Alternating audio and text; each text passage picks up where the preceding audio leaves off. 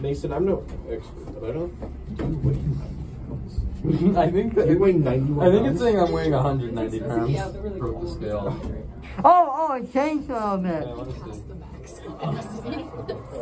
Third Okay, guys, floor. anybody else? is, Uh, okay, if you switch, switch now. Don't switch while it's going because you don't see. Things are gonna change right when we start and when we stop. Are you going to the third floor one more time or no? Yeah. Yes. this is rough. I weigh 90 pounds, Jacobs. Did you weigh less than 90 right now? What is that door go to? It's just broken. That scale's just broken. I think the Newton scale might be a little more accurate.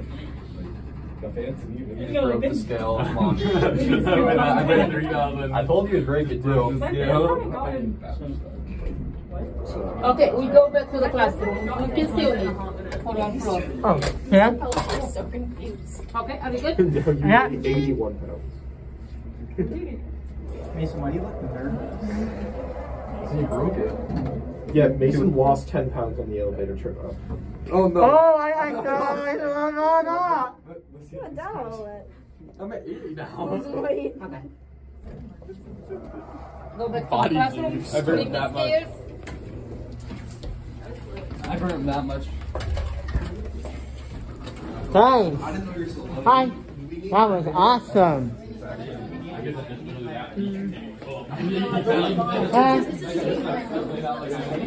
Mine's at Newton.